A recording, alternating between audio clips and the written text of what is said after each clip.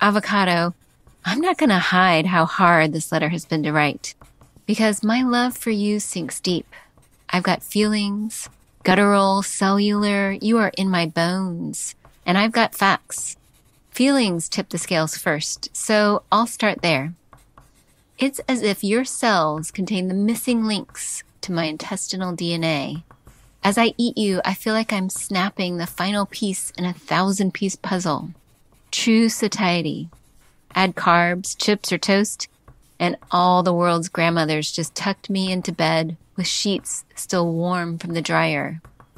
A profoundly tender love. This is enough. But a mention of your history that underlines my transcendental love for you.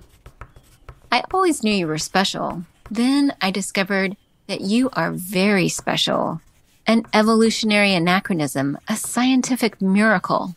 Your seed distribution symbiotically relied on giant sloths and other prehistoric behemoths that could swallow you whole. These beasts became extinct over 13,000 years ago, yet somehow you survived without a co-conspirator for over 5,000 years. Biologists have no explanation for this perseverance. You truly are the immaculate conception fruit, worship worthy. I love you.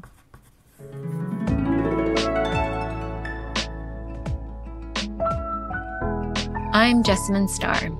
You're listening to Fruit Love Letters.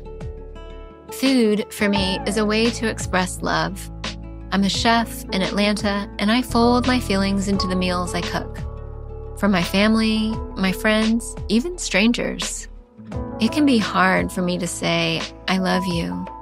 But you will know it when I serve you roasted radishes nestled in their own greens. But if I peel you an apple, slice you a persimmon, pick you a mulberry with my stained fingers, then we'll both know it's really serious. Fruit, of course, have long been considered symbols of love, even aphrodisiacs.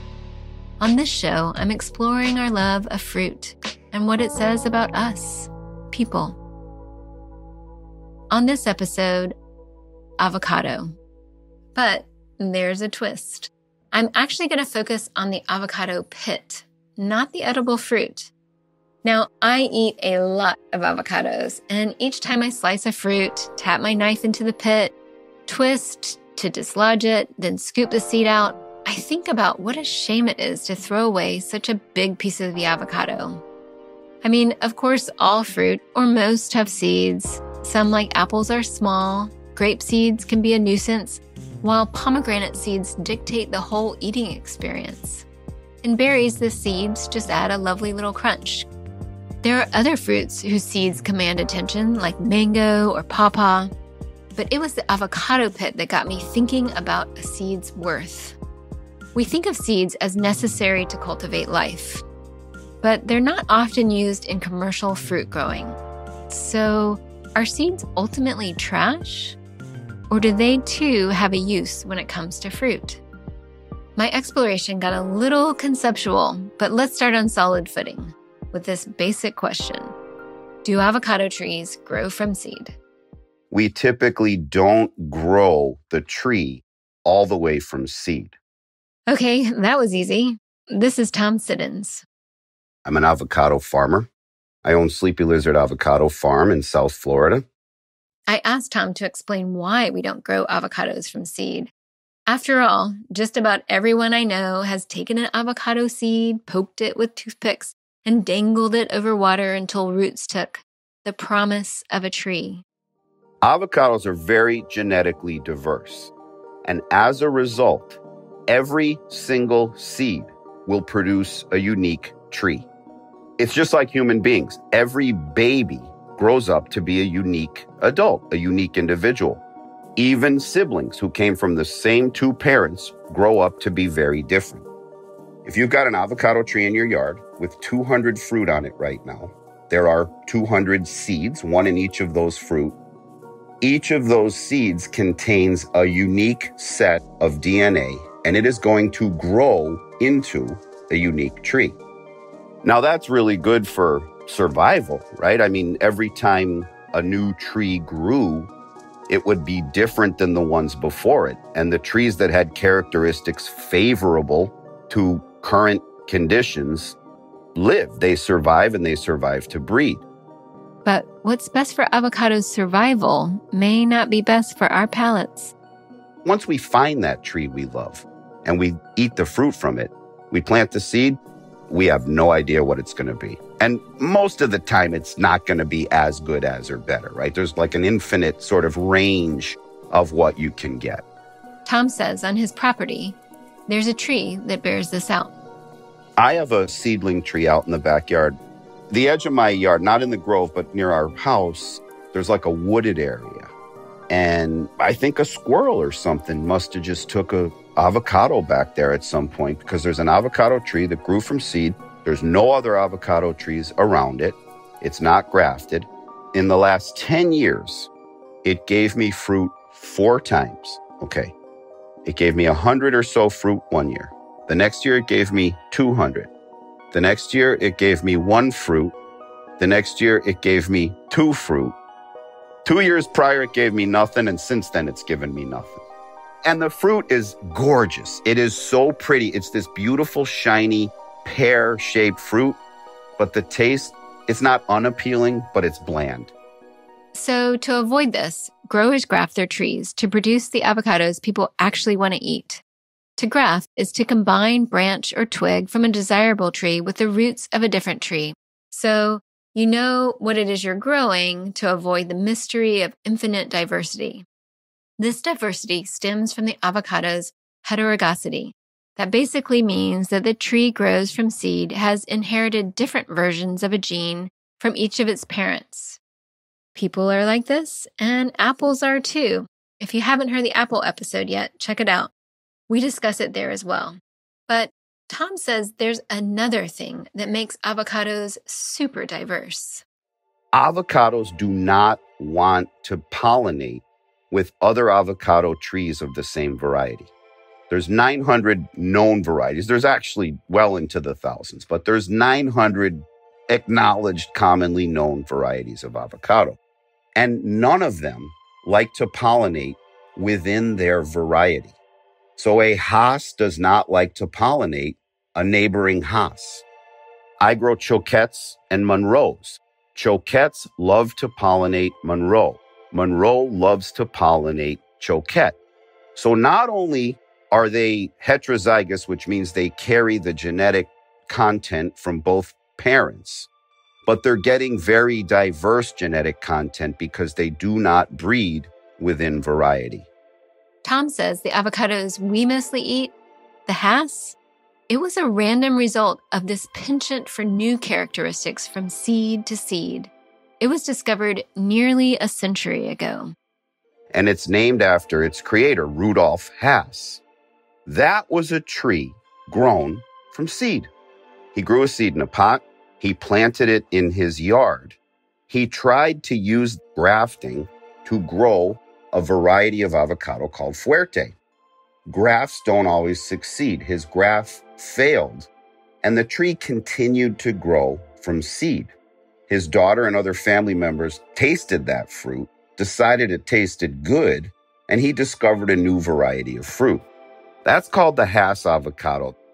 Hass and other growers started grafting this one tree's branches so they could grow more and more of it. If you go to your local supermarket, odds are it's Hass avocados on the shelf.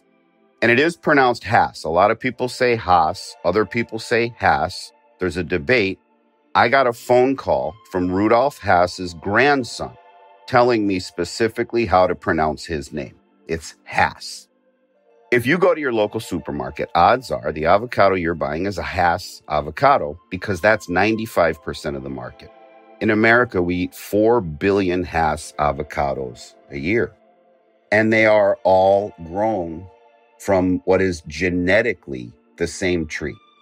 A tree produces about 200 so there are millions of trees producing Hass avocados, but only one, the original, was grown from seed. The idea of that makes me sad, like we're cutting off the potential for something new, something exciting. But Tom says it's not like no one messes with the seeds. Well, there's people all around me here, people who own nurseries and farms who engage in what's called seedling hunting. So they will set aside a portion of their property and they'll just let seeds grow and see what it gives them. And that's not just with avocados, it's with other types of fruit that this concept applies to. And up the street, I have a guy that's a seedling hunter. He's the one that found a red avocado and he named it. He named it Hialeah Red. And he sells a tree now that produces red avocados. Well, if they just took that particular seed and grafted it, it never would have grown into the red avocado. It would have grown into whatever they grafted, it, right? So, what I said earlier about the genetic diversity being good for the survival of the Persea americana species, but not necessarily the best for the human palate, the other side of that is there's secrets yet to be discovered. There's seeds that haven't even been pollinated yet, that at some point are going to pollinate. Someone's going to plant, someone's going to let them grow. And in 10 years, we will have the next interesting, delicious, what have you avocado variety. And we wouldn't have that were it not for these seedling hunters. Still, that's a very small percentage of the seeds we produce, eating 4 billion avocados per year. Are the rest of these pretty round pits just going to the dump? It turns out not all of them. People have found all sorts of uses for them. Some people make tea out of the seeds. A company called Reveal recently started bottling avocado pit tea. A Colombian textile company called Suhaza uses them to dye their fabrics. The pits make a beautiful pink color. And then I came across an artist that was using avocado pits to rethink our whole world. Hi, my name is Maria Elena Pombo. I'm an artist in New York City. I think I'm mostly known for my work utilizing avocado seeds, which I have been developing for the past maybe four or five years, something like that. Maria Elena is originally from Venezuela. So I started when I moved here to New York City in 2011. I moved to study fashion design and soon after I started working at Michael Kors as a fashion designer, but around the same time I discovered by accident, not accident, maybe a coincidence of circumstances that you could dye fabric with different plants. One of these plants were avocado seeds and I had an avocado tree in my house in Venezuela and I think this moment really changed something in how I was experiencing this reality of being outside of my country and like, what does that mean? She started to think more about the tree her family once had. The house where it grew had been a joyful, open place. I have this very strong association of the avocados with my home. And that house was sold some years ago, maybe like eight years ago or something. And it is a house where there were many gatherings like for family and friends like we would always have these like very huge gatherings and maybe my brother would have some friends and i had some friends and my parents and we would be kind of like coexisting and this tree was a reminder of all that not necessarily its fruit but its presence. Like one of the things with this avocado tree i had back home it didn't mean that i was eating a lot of avocados. It meant that actually we had to gift avocados to people. These were quite large avocados so in my house, we couldn't really eat them at the rate that the tree was giving them. So if I would go get a haircut, I would bring some avocados for the hairstylist and the other ones or to a house of friends. And it became like in our group of friends and family, almost like, oh, these are the avocados from La Marimba, which is the name, which was the name of this house. The avocados were a currency of community. Other fruit grew in the house too, but something about the avocados stuck with her, just like it did with me. And slowly I started to explore this medium. Well, not a medium, a material. Her experiments focused on dyeing textiles with avocado pits. She did that for a while, mostly on weekends and her free time. She designed a collection of garments using the dyed fabric. And then she got so into it, she decided to quit her job. And then I had more time to really explore and understand what this meant. That first year of not having a full time job and just exploring this, that's when I started actually collaborating with, with restaurants. They started giving me their avocado seeds. That meant that I had a lot of this material. The more avocado pits she collected, and the more she thought about them, the more questions they opened up for her. There used to be giant sloths in South America and they were eating these avocados and they would eat the seed just the same way that maybe sometimes we eat by accident the seed of a watermelon. Then they would poop it, and then a tree would be would grow out of this. And I think that this very simple thing for me started opening so many questions, like about where I'm coming from, and also how can I explore with history from this region. It tends to be very complicated, especially when you are from South America, because the way colonization happened for us is that most of us that are from that region, we descend from victims or also victimizers. It's not a one dimensional view. Like I know that I have ancestors that suffer, but also people that inflicted this suffering. So I can't just like choose like, oh yeah, like the Spanish came and did this. No, like they are also my people, unfortunately. Like I, I have to accept both of these things. One of the things she honed in on was Venezuela's current political troubles, which have made many Venezuelans flee the country. Basically, like Venezuela has this like huge diaspora that it's something that has started in the past like 10, 15 years. Like at this point, around 17% of the population has left. And it's quite a new phenomenon. Growing up, no one emigrated. Most of the people from my generation, their grandparents will be foreigners. So this is kind of like a new thing that we're trying to understand. She was thinking about this intellectually, but she was also dealing with it personally. Her own family and friends from Venezuela were scattered across the globe. At the time, a friend was getting married in the Netherlands, a cousin in Spain was receiving her first communion, I want to be there for these people that I love, for these moments that are important for them. I can in theory, but I can't at the same time because I can't just go to Europe for two months and hang out. So I thought, well, I had already been doing workshops here in New York City in my studio and in other spaces. So I thought, well, maybe I can organize a series of workshops there and do a sort of avocado tour. She contacted various cultural spaces about doing dyeing workshops and she asked her contacts in each location to start saving avocado seeds for her. So I was harassing all of my friends and family for several months to please save the avocado seeds that they were eating. And at the beginning, they would forget, but then everyone got super excited about it. And then they were sending me their photos. And even though like we were away, we were kind of playing this game together. When I was doing this avocado tour, I started in the south of Italy, in Calabria, in a small town there. And then I went to Spain to Madrid, Barcelona, and Coruña, a city in Galicia, and then Berlin. And then the final stop was in Paris. She noticed that in each place, the colors in her dyeing workshops came back different. It was because of the water. And it's something that I already knew that this happened when you're working with extracting color from plants, that the same way that the water tastes different in different cities and it affects your hair and skin differently. It also will affect the colors on natural dyes. But I think seeing it week after week for two months, and in a context also that I'm having to explain this to people, really made me think that this was something that I could explore even more. Especially the last stop was in Paris. The fabric she dyed ran from pale pink to almost magenta they were a physical representation of something more intangible distance. I can almost map where my friends and family from Venezuela have gone through these different hues that we have from the avocado seed. When Maria Elena got home to New York, she started asking more people to send her water from their own towns and cities. So, at first, all the people that I have harassed for several months in 2017 to save avocado seeds for me for when I would go do a workshop in their city, I asked them to please send me water with the idea of like mapping this Venezuelan diaspora to actually show all the different places in which we are through these waters.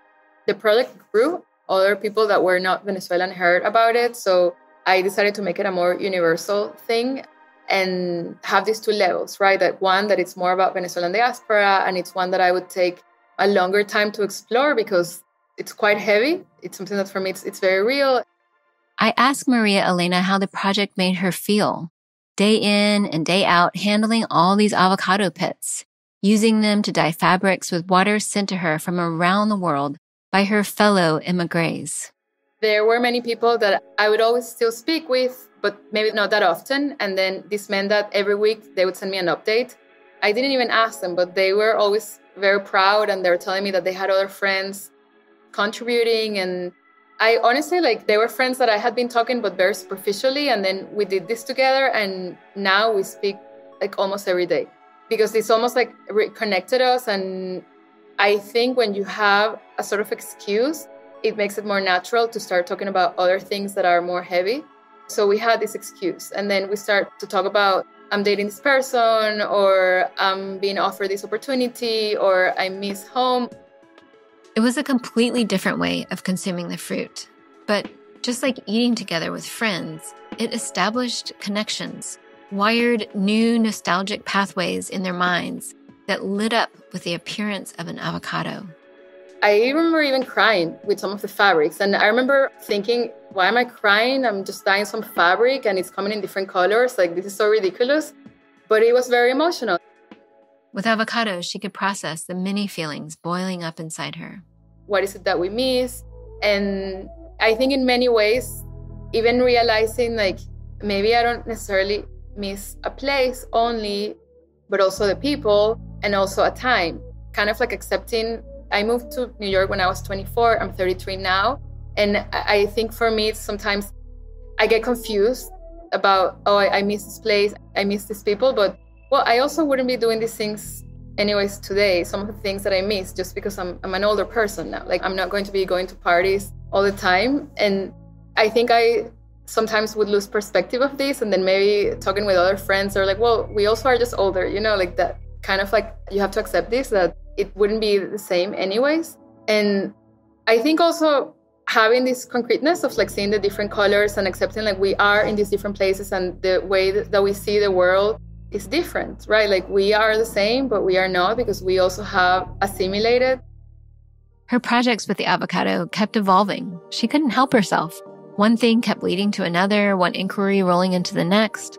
All of them somehow connected to Venezuela, her absence from it, the diaspora, as if the avocado pit, with its genetic material carrying an infinity of possibilities for what it might produce, somehow encapsulated this strange new reality. The million what ifs once you leave your homeland. Maria Elena started grinding the avocado seeds. It was for storage purposes at first because she had so many pits from the restaurants that were saving them for her. But the resulting paste reminded her of a specific beach in Venezuela. I started to have these very intense memories of being like a child in these beaches with this very specific sand and playing with the sand and wondering like can I also make things with this the way that I was making like a sandcastle or something when I was little. She started thinking, what if the avocado paste could be a building material? What if it could be fashioned into fabric, a leather, an energy source? What if our whole world rotated around the avocado seed and what we could get from it? What would it look like then? She tried to answer those questions with a project titled La Reentrada, the re-entry. The way that I framed this project, I grew up in Venezuela, of course, I already said it, and Venezuela's economy depends on petroleum. And it's something like 96 or 99% of the exports are petroleum. And it's very interesting because many things happen there that I had to do projects when I was maybe in fourth grade to talk about petroleum and all the uses for petroleum and like that. I remember being very freaked out that like bubblegum was made with petroleum and then I didn't want to eat bubblegum for a while and it's something that I really like to eat. And then I was really this is very weird and like in Caracas where I grew up you didn't see the oil fields because there's no oil there but my mom is from a city where there is oil and the oil is being extracted there and like you are riding your bike around and, and you see the I always forget the name in English. But the oil extraction that they're like a little the wells, I guess. Yes. You see this thing and it's very present and there's been free university for the past like 60 years and it's all subsidized with oil and everything is around it and people in general had a very positive view because it allowed a welfare system that was completely unheard of in the region. But she says there's environmental issues around petroleum and societal issues that stem from a singular focus on petroleum in the economy. You can't have an economy that is based on extracting one thing that is finite and it's going to end. And you can't have an economy that depends on one thing. That doesn't make any sense because when that one thing is not valuable anymore for the society, then it's over, which is kind of like part of the drama of like why there's this huge Venezuelan diaspora today. Part. It's not just that, but it is definitely a part of it. And I would have so many of my friends And people like, why avocado again? Why are you obsessed with this? And I was like, well, I have access to it and I'm always going to have access to it. But for me, it started almost like, I don't want to say a joke because it wasn't a joke, like we're going to laugh, ha ha ha, but almost like, well, you see here, this is crazy, but you don't see it in this other context. We can make anything from anything, basically. Like if you really allow yourself to be creative and to try and to experiment, you can have many possibilities. This infinity of possibilities the avocado pit carries, to Maria Elena, that went way, way beyond the potential kinds of fruit one might grow. It was a new imagining of society. It requires a very different dynamic, right? It requires that you have to save things and you have to all collaborate together. And it's never going to be something so majestic, but it will be equally meaningful. And it's the complete opposite of petroleum that it's always very majestic. It's always like skyscrapers and highways and subways, and it's always very flashy. So for me, that's part of it, especially in this context of La Reentrada, which means basically sort of like the re-enter. It's reimagining how this return of the Venezuelan diaspora could be. Like if we all do go back and we are changed, right? Because we have had these years outside and we are going to see things differently. So we are going to see possibilities that maybe before we didn't see. And we ourselves will have gone through the same changes that the avocado seeds went through. You know, like I have to boil the avocado seeds so they gave me color. I have to grind them, like I have to destroy them, and then they transform into something else. And I feel like I have the past 10 years, I have been boiled and grinded, but still every single time something better has come out. And I feel it's the experience that when I'm talking with people, and in my case, my experience has been one of the easiest ones of the many people that I know. There's still this perseverance that you're being boiled, you're being ground up, and then something incredible comes out of this. So I think it's on that on one level that, but also this idea that we are gonna build this thing together in a completely different way. We all have to collaborate, and it will not be so flashy, but it might be actually even better. It's just an avocado pit, something we casually toss to get to the fruit itself. But in Maria Elena's hands, it turned into a way to connect with far flung loved ones, a way to conceive of a better world. I don't think that I could have, like 10 years ago, decided, like, I'm going to create this body of work about avocados. Like, I think it would have not felt right necessarily. I think I would have felt that it was weird, but I discovered that it had all these material possibilities and there's so many stories around them that it felt like a good metaphor to explore this idea of the house that once was and i mean it's the house the physical one the marimba house but it, it's also the city and the country and a specific moment in time i did this interview months ago now but i still think about it often how the avocado pit is a wonder rich in metaphor and all it takes is the right set of hands to harness those narratives of possibility and connection. It reminds me of something Tom Siddons, the avocado farmer, told me. Tom was talking about the pit as seed, not as metaphor, but he seemed to have arrived at many of the same connections Maria Elena had. Tom said the seed is powerful. Like I tell people, before you plant that tree, I want you to just sit down and think about what you're about to do, right? You're connecting the earth to the sun. Like you're literally putting something in the ground with roots that attaches it to the earth. And on the other side are leaves that open up to the sun. And you create a machine that takes energy from the sun and nutrients from the earth and produces something that contains energy that people then eat to go on and go about their lives. And you're connecting it to something that takes seven minutes for the light to get here from to me, it's just really an incredible thing if you really think about the way things are connected. Like, we're not just connected to each other, we're not just connected across the planet. When you put a tree in the ground, you're connecting to something way the heck out there in the solar system. So, next time you pluck an avocado pit from the fruit, take a minute to think about that. Thanks to Tom Siddons and Maria Elena Pombo. You can subscribe to Fruit Love Letters anywhere you get your podcasts. And we'll be back next week with more love letters to fruit. Fruit Love Letters is part of Whetstone Radio Collective. Thank you to the Fruit Love Letters team, producer Irina Zhorov, audio editor Bethany Sands, researcher Carolyn Crosby, and intern Indigo Clarkson. I'd also like to thank Whetstone founder Stephen Satterfield, Whetstone Radio Collective executive producer Celine Glazier, sound engineer Max Kodelchek, associate producer Quentin LeBeau, and sound intern Simon Lavender. I'm Jessamine Starr. Thanks for listening to Fruit Love Letters.